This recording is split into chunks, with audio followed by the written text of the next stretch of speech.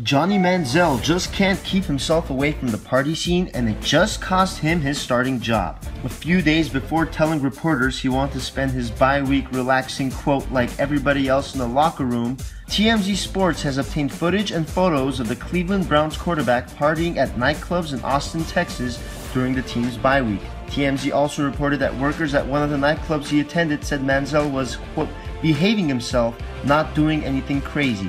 That didn't matter for Mike Pettine and the Browns front office, who released a statement demoting Manziel to third string. Earlier Tuesday, Pettine told reporters, quote, when the behavior repeats, it's certainly a cause for concern. Josh McCown will be the starter going forward, and Austin Davis will be his backup.